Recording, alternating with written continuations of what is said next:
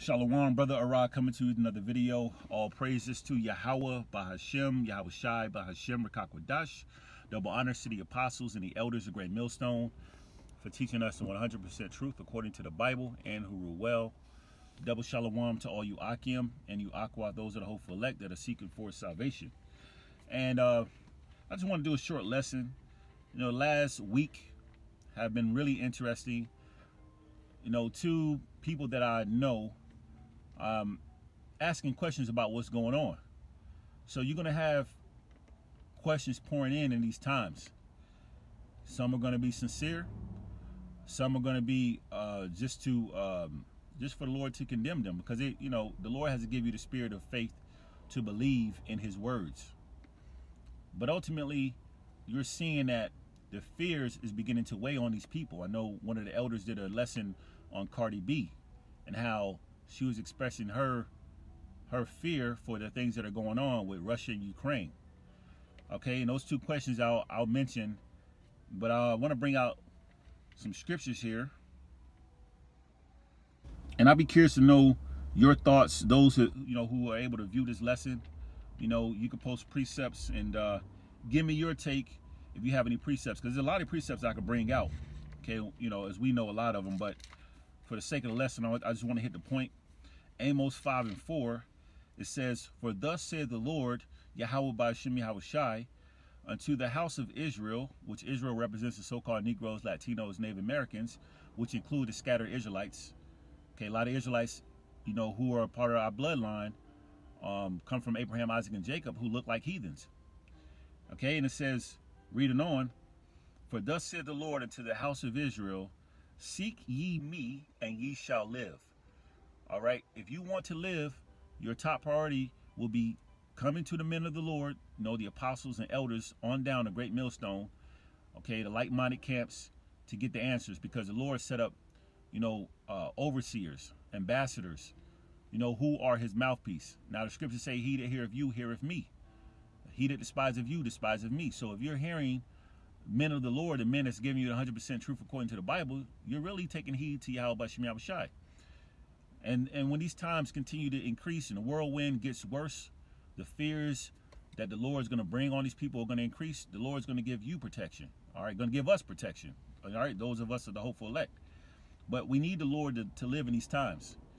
Okay, and one of the questions that I received, okay, was from um uh someone I knew uh, in the world when I first came into the truth. I told him what I was getting into. You know, you get excited when you first come into the truth, and I told him, look, we're Hebrew Israelites. You know, Lord willing, I'm gonna start preaching and whatnot. And, and eventually, you know, the Lord gave me the opportunity to, to preach. And so he knows what I'm into. So he recently called me and he called me today, matter of fact, this morning and was like, what are you going to do when MOTB comes around? Now, I haven't talked to him about this in a while. You know, you start getting wise and realizing that Jake really ain't about it so you move on and you know you move with discernment but he never he never forgot about that conversation that we had about the MOTB being getting ready to be mandated. All right? And so he called me up today about it and I told him I said I'm a trust in the Lord. You know we supposed to be building a personal relationship with the Lord repenting you know getting the names which I didn't tell him the names because I wanted to see if he would be receptive to my answer. But he wasn't okay? It didn't sound sexy enough to him. That's what I perceive through the spirit. Okay, but I'm gonna bring out this precept here, and I'm gonna speak more on that. But uh, Proverbs, let me see. Proverbs 4. Is it 4?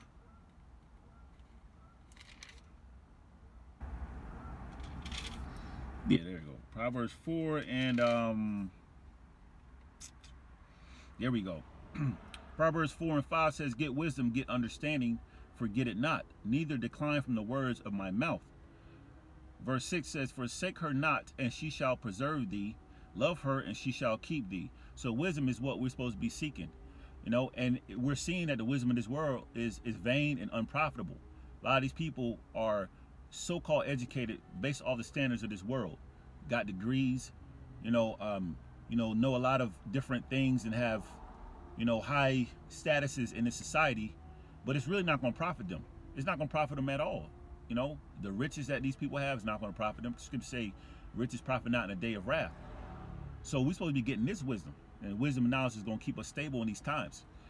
And with that wisdom, in order for you to actually uh, use the wisdom, you have to have faith and hope in Yahweh Bashim Shai. And that comes from Yahweh Bashim Shai. The Lord has to gift you that. It says, verse 8, Exalt her, and she shall promote thee. Matter of fact, I skipped verse 7, Salaki. Verse 7 says, Wisdom is the principal thing, meaning it's the most important thing that we should be getting. Nothing else should be more important than getting this wisdom. And you have to be receptive to it. You got to be open to taking heed and listening to, you know, uh, the truth. Okay, because the truth is going to set you free. Everything else here, we're in bondage. The only way we're going to be free is through this word, man. It's truth. Okay, but it says, therefore, get wisdom, and with all thy getting, get understanding. In order for you to get understanding, we have to what? We have to hear, hear the whole matter. So we talked about other things, you know, but the main thing I wanted to tell him is that the only way we're going to be able to survive these times is through the God of the Bible. I didn't give him the names again because I threw the nugget out there. He didn't catch it. You know, uh, trusting the Lord, getting wisdom, the wisdom of the scriptures is what I told him.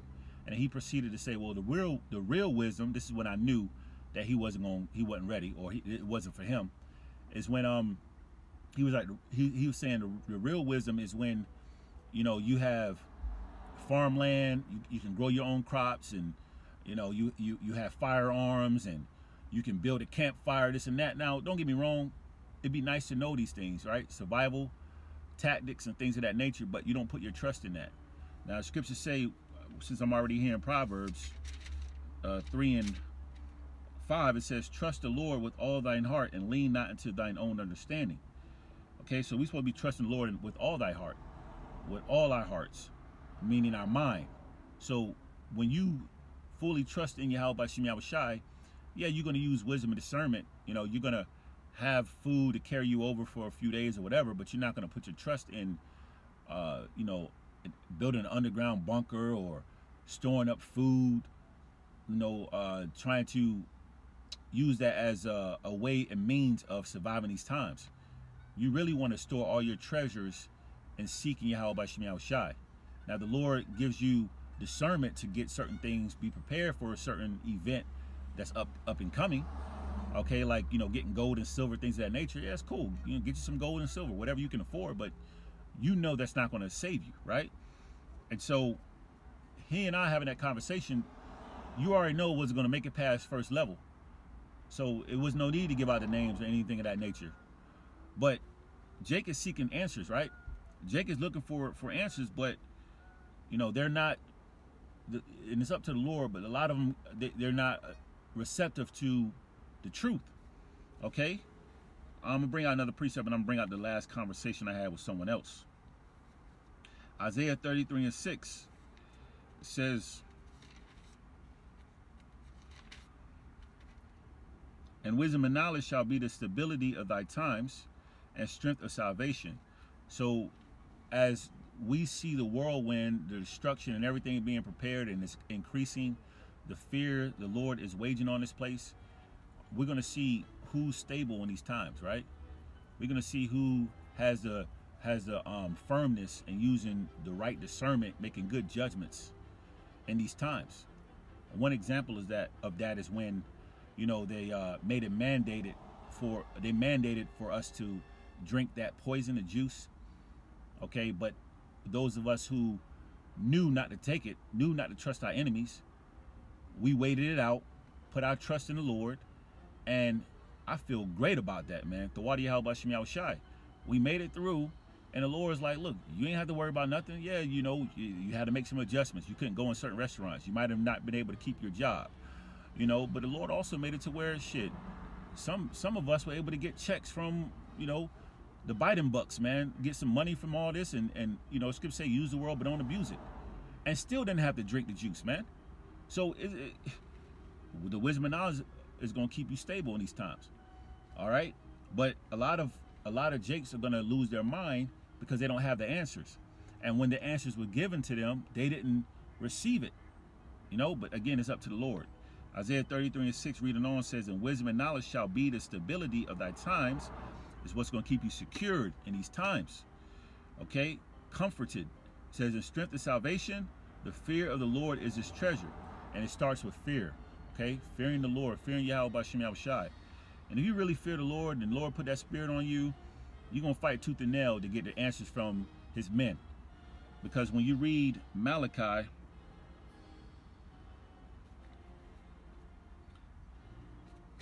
Malachi 2 and 7, it says, For the priest's lips should keep knowledge, and they should seek the law at his mouth. Know, the, the Lord set up priests who's going to have the knowledge, and who's going to be giving you the knowledge through the Holy Spirit. The scriptures say, um, Jeremiah 3 and 15, and I will give you pastors according to mine heart, which shall feed you with knowledge and understanding. Okay, so the Lord set up ambassadors, overseers, that's going to feed feed you with knowledge, the knowledge and wisdom of the scriptures. Okay, that that's going to be beneficial in these times. You know, so the knowledge is at the priest's lips, and the Lord is making it known that these men are out because this word is being a controversy. His word has made its way to the gates of the noble. Now they're plotting to figure out how they can uh, come against us. You know, because this word is is uh, sharper than any two-edged sword. You know, it's it's cutting them, man. It's cutting these elites, and they know their time is short. Okay, so if you truly want to seek the Lord, you'll be you'll be at you'll be at the uh, doorsteps of of these men, going out there on the highways and byways, watching the sit down lessons, you know, being edified, reading. Okay, it reads on. For he is the messenger of the Lord of hosts. So these men the Lord set up are the messengers of Yahweh Shai. And what a, and a true messenger who is sincere and really a man of the Lord is going to be speaking 100% truth according to the Bible. They're not going to be telling you things that's going to uh, make you feel good. It's going, they're going to tell you the things that's, that's true.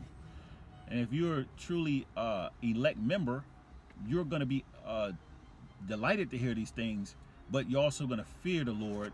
Okay, you're going to be delighted knowing that there's a way out, that we have a chance, but you're also going to be afraid knowing that what's coming down the pipeline is going to be something that's never been since the earth was created. And that the power of the Lord is getting ready to be revealed, man. You know, at a level we, we can't even imagine. All right, so the last one is um while I was doing a live stream with the, the, the two heads of uh, my camp, the GMS North Carolina Raleigh camp, Brother Hawad and Brother Kabad, I believe it's called Open Forum, last Thursday. I got a text while we were talking about Salakia.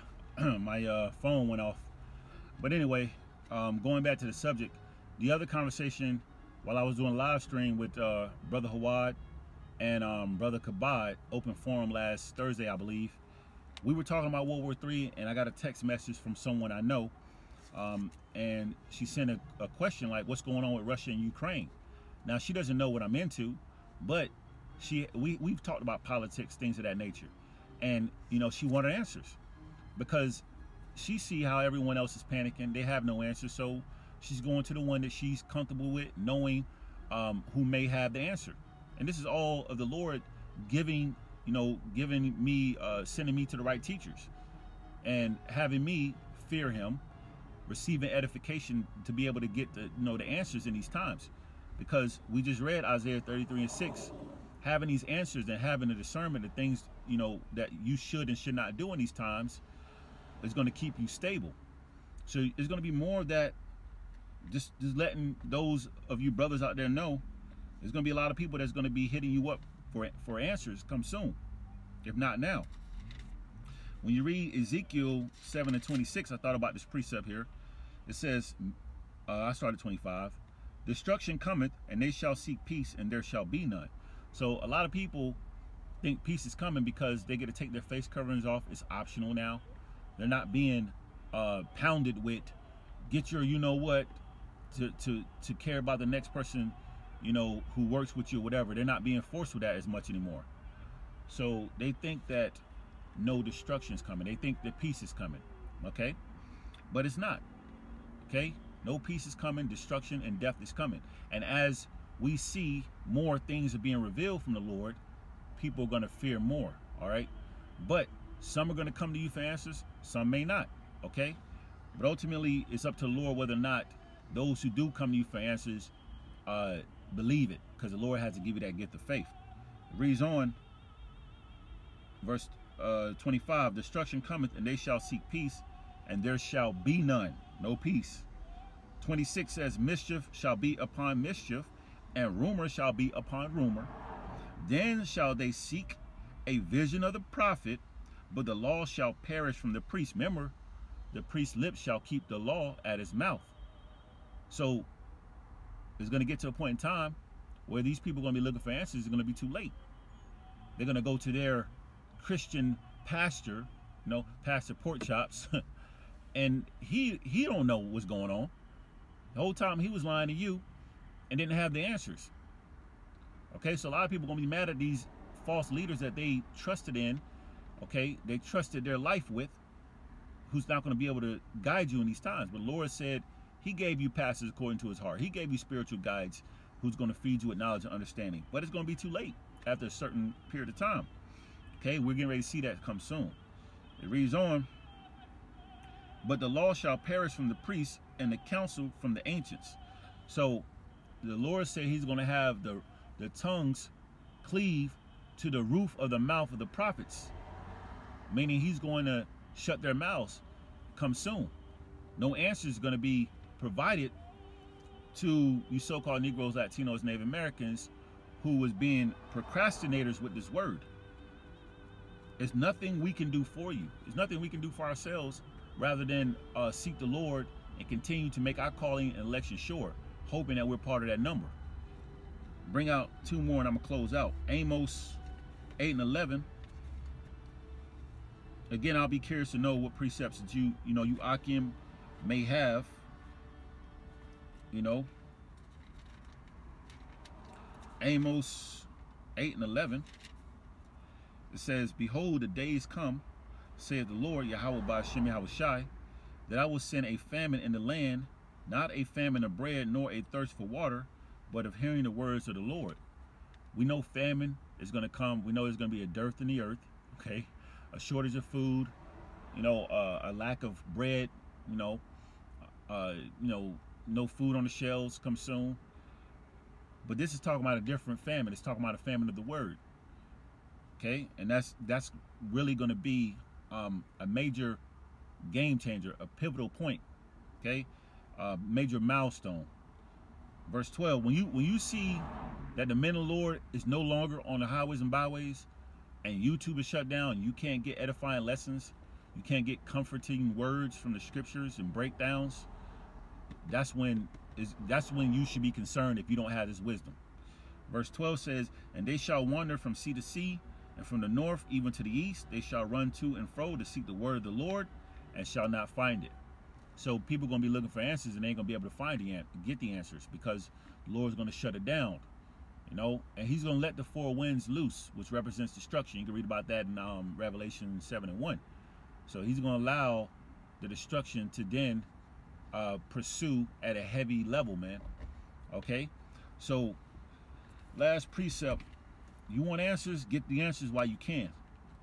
Because it's not going to be uh, always, the doors of mercy is not going to always be open, man. It's gonna it's gonna close come soon, and the Lord's not gonna allow you, you know, to be um, edified. Sirach five and seven says, "Make no tarrying to turn to the Lord, and put not off from day to day, for suddenly shall the wrath of the Lord come forth, and in thy security thou shalt be destroyed." And I mean, you could tell again, a lot of our people are they're really drunk off that Babylon juice. They don't think that America will ever be destroyed.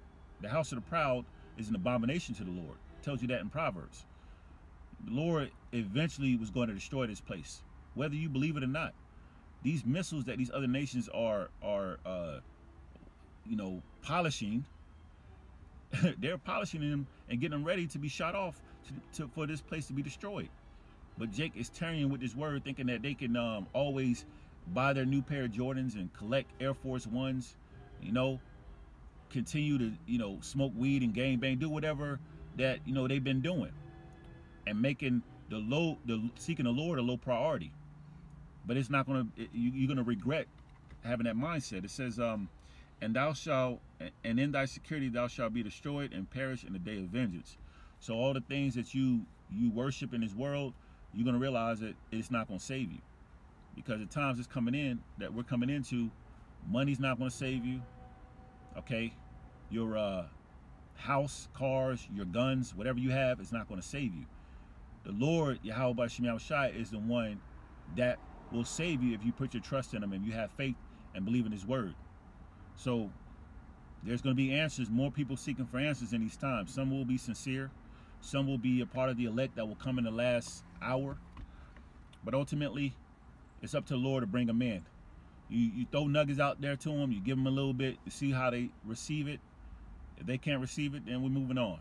But these people know they're Israelites. The word is going out across the four corners of the earth.